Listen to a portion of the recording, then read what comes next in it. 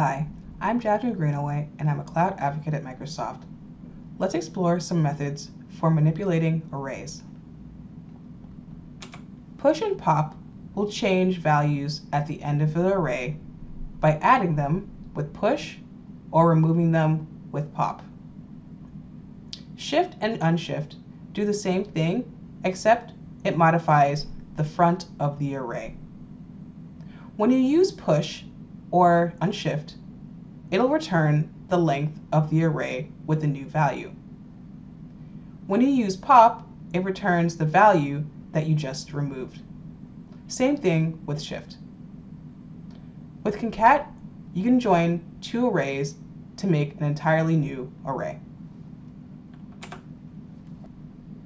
In this push and pop example, we add a string to the end of array 1, and that returns its new length. With pop, we remove that exact same value, and it returns the value that we just removed. In this shift and unshift example, we add a value to the front of array 1 with unshift, and we get its new length. Then we use shift to remove that value from the front, and it gets returned to us in our console.log.